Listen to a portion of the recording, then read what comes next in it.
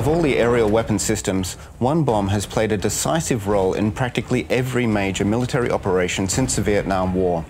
From the first retaliatory strikes at the Gulf of Tonkin in 1964 to hitting Libyan air bases in 1986, destroying tanks in Desert Storm, and still striking targets today, the Mark 80 series of bombs has become an indispensable asset. From the classic Mark 82 to the Paveway laser-guided bombs and now the JDAM, the Mark 80 remains at the center point. Decades of research make it a reliable, safe and cost-effective platform adaptable to almost any situation. Today, we look at what may be the unsung hero of air-deployed weapons, always present but rarely acknowledged, the Mark 80 bomb.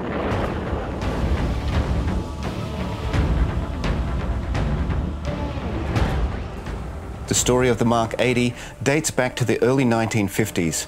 At the time, Western Air Forces were using a variety of different gravity weapons.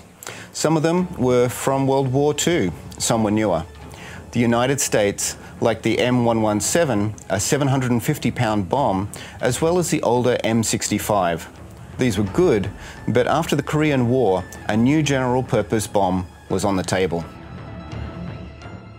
It would be referred to as the Mark 80, a family of four different bombs ranging from the 250 pound Mark 81 to the 2,000 pound Mark 84. Compared to previous bomb types, this new proposal would look rather different. What would set it apart, however, is its aerodynamics. In 1946, Ed Heinemann, a self-taught engineer at Douglas Aircraft, undertook a study of bomb and aircraft shaping and their effect on drag. One outcome of his study was a shape called Aero 1A, the Mark 80 would integrate these lessons into its design, with a length to diameter ratio of 8 to 1 and nose and tail fuse wells.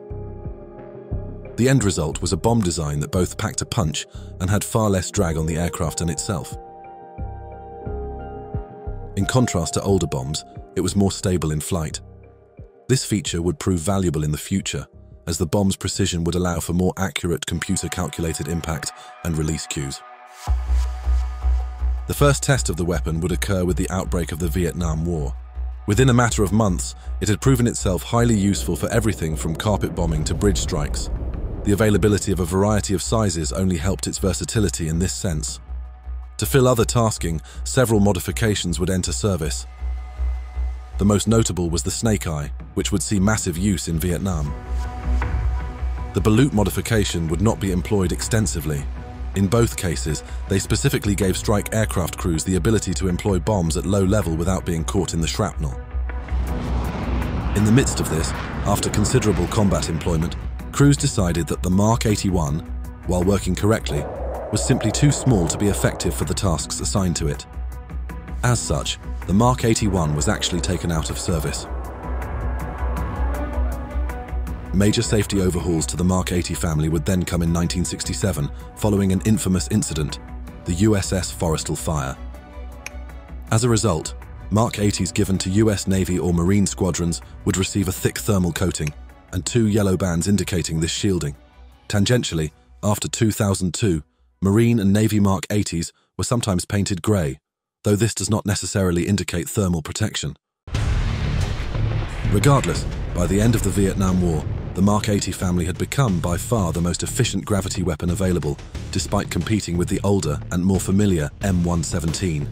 It filled every role it could, from carpet bombing to precision strike.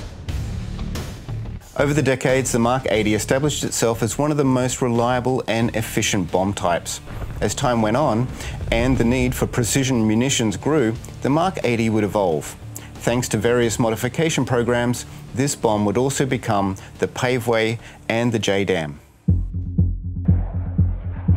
During the Vietnam War, designers had experimented with early laser-guided bombs under Paveway 1. Among these experiments were the Bolt 117 using the M117 and the KMU 351 using the Mark 84, technically a GBU-10. The latter would prove extremely promising during combat testing, the Mark 84 modification would achieve an accuracy of 20 feet, with an average of 3 out of 4 bombs on target. Best of all, such a modification to a Mark 84 was only $3,000, a tenth of the price of a similarly accurate walleye. While initially limited to action in Laos and South Vietnam, by the time of Linebacker 2, and the renewed open hostilities with the North, the weapon system began to yield impressive results. Throughout 1972, these bombs were used to precisely strike ships in port, without harming other foreign vessels.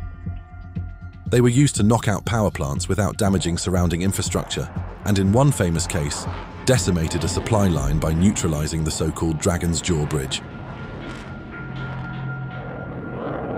All in all, 10,500 laser-guided bombs would be dropped between 1970 and 1973, 5,100 of which were direct hits, and a further 4,000 within 25 feet of the target.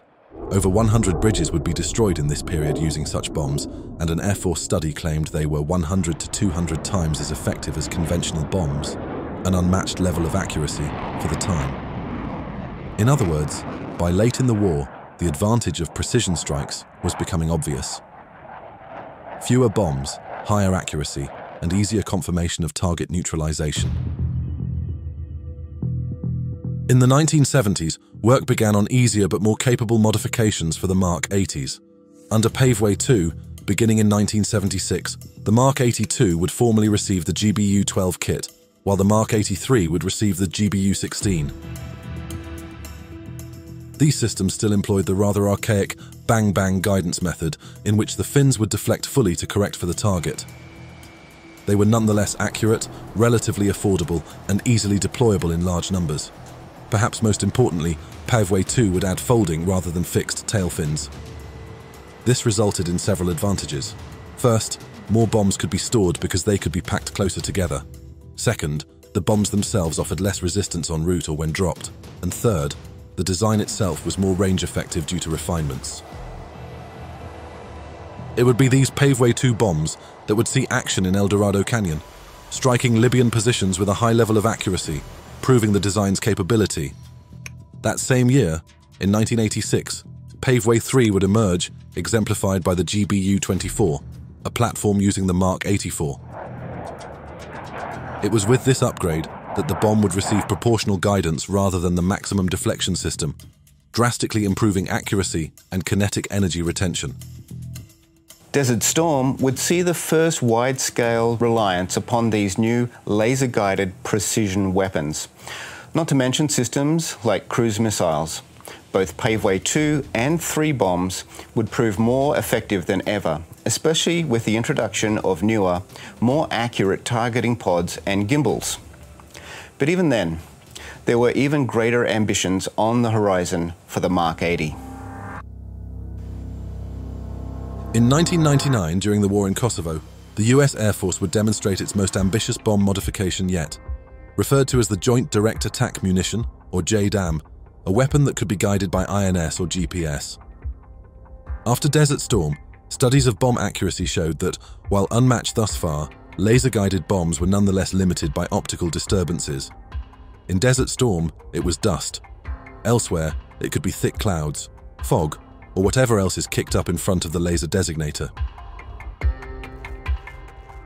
In a bold move, in 1992, a variety of tech manufacturers, including Honeywell and General Dynamics, were hired to assist the US Air Force's 46th Test Wing in designing a GPS-guided bomb. Over a 12-month period, a working testbed was produced using a GBU-15, and on February 10, 1993, the first test was completed, with an F-16 dropping a bomb 27 kilometers downrange. The outcome was a direct hit. Shortly after, Northrop Grumman, in a bid to arm its B-2 with its own precision weapon without the need for a targeting pod or cameras, made its own attempt at a GPS weapon. The outcome, the GBU-36GAM, or GPS-assisted munition, proved promising. Using these existing studies, the JDAM program would get underway between 1995 and 1997. The test beds proved highly accurate. Tested in rain, snow, and thick clouds, accuracy on target was basically unaffected. Better still, it would utilize an INS system assisted by GPS, meaning employment could still occur in GPS-denied environments if need be. With the first kits arriving between 1997 and 1998, the JDAM was an impressive piece of tech.